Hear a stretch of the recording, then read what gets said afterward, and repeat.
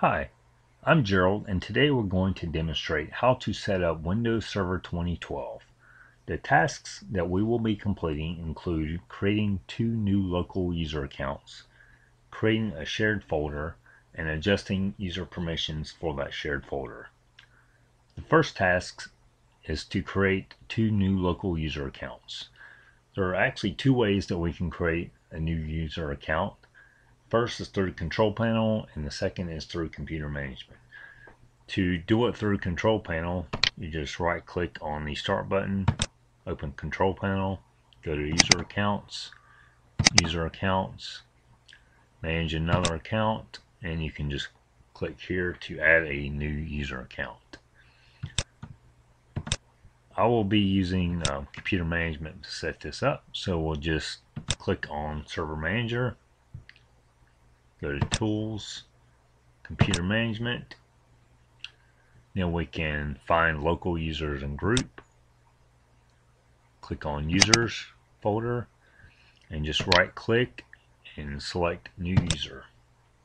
Now we can just enter the information for each user that we want to add. The first user I want to add is John Smith so we just enter John Smith as the username. Full name is John Smith. Description, he will be our manager. And the password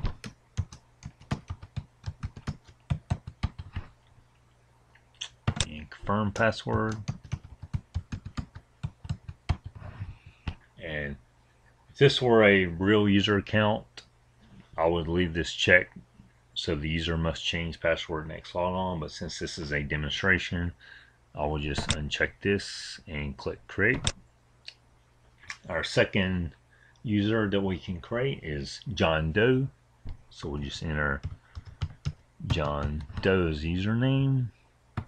First name is John.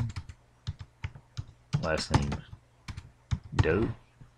Description is employee can enter our password here. And just confirm the password.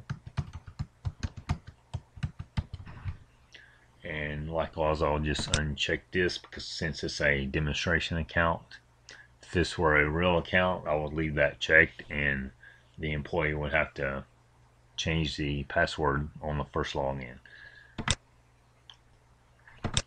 Okay now we can see right here that we have our two users that we added, John Doe and John Smith.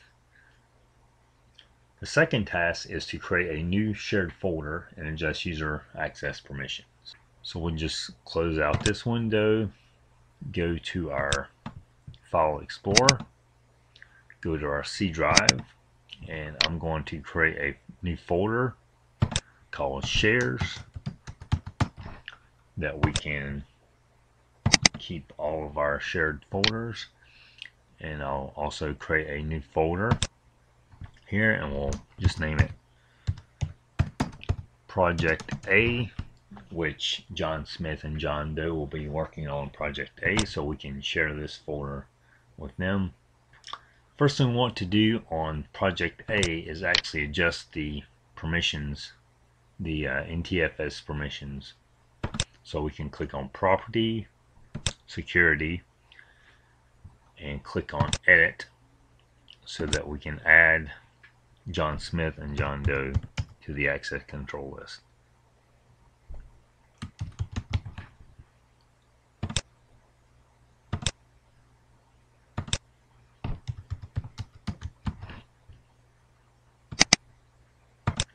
Okay.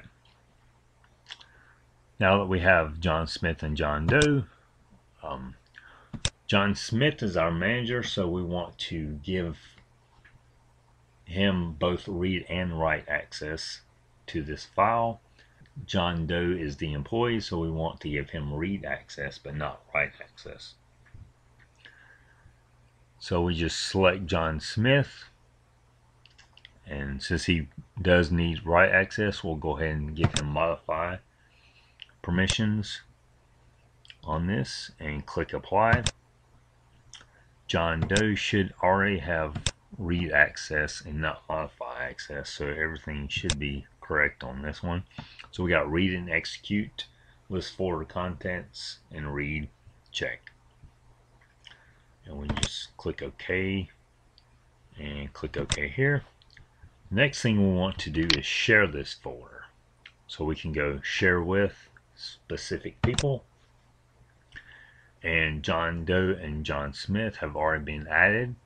And we can just make sure that their permission level is correct. So John Doe has already have read, and that's correct. John Smith has contribute, and we change that to read write.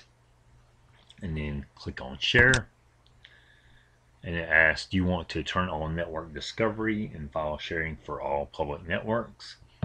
We can click on yes here, and it gives us our UNC path of server 2012 slash project A, and we can just click done here.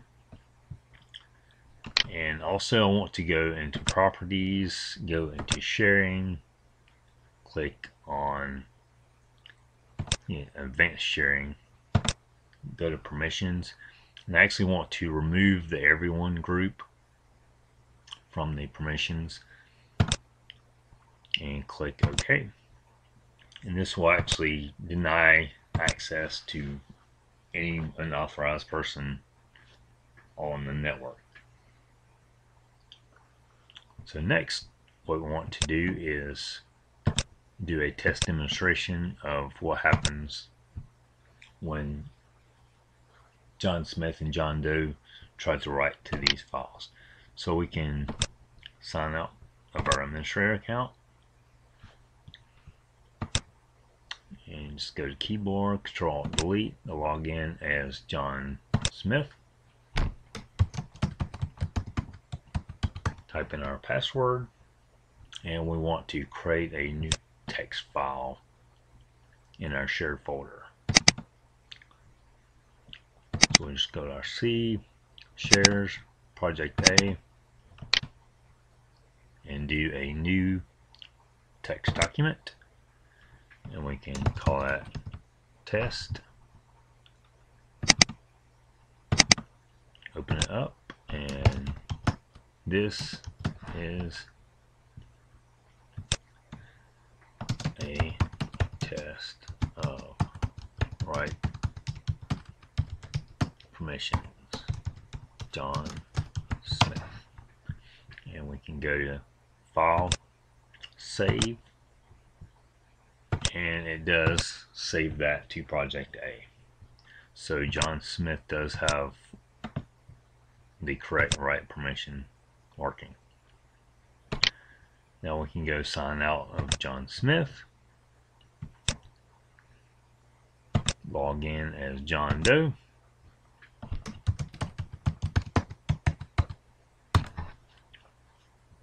And see if we can modify that file from John Doe. So we click on our File Explorer, C drive, shares. Okay. So we do have read access. We can read what John Smith has written. But when we go to change something, it should not let us save it.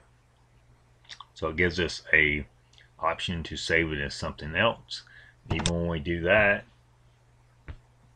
it will not let us, it says access is denied. So our write permission is being blocked by our NTFS settings.